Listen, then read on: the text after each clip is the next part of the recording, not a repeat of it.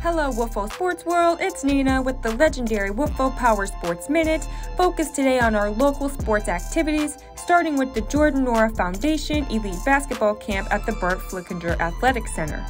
Boys and girls aged 7 through 18 will have the opportunity to experience collegiate and NBA level training with the focus being teamwork, discipline, and sportsmanship. Registration is closed for the camp that runs from July 5th until the 9th, but the hope is for it to be an annual event.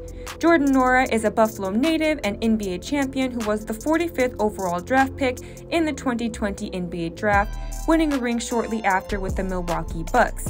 A graduate of the Park School, he was a New York State Federation champion and CHSAA state champion. He earned all center court honors back to back his junior and senior seasons and started the Nwora Foundation two years ago.